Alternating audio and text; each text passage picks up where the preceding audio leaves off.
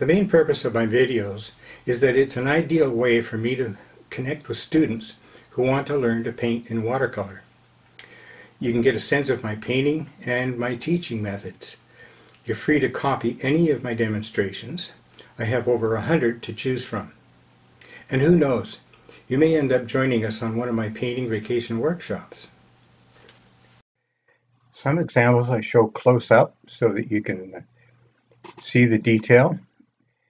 Other times I'll start right from the drawing if I think it's going to be useful to just see the way I work on watercolor paper with graphite. Other times I'll just take an object and illustrate how I would render it with brush and color. And no, I do not do speed paintings because it's just too hard to see what's happening. I shoot everything in real time so you can see how the paint behaves. Some uh, pictures are done best on wet paper.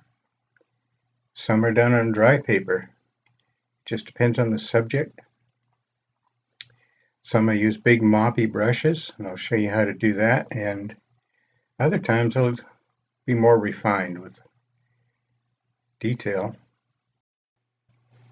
I cover a wide variety of subjects, as you can see from this montage. Some are fairly simple for the beginners and others a little more elaborate for people with a bit more experience, but there's something for everybody that wants to learn.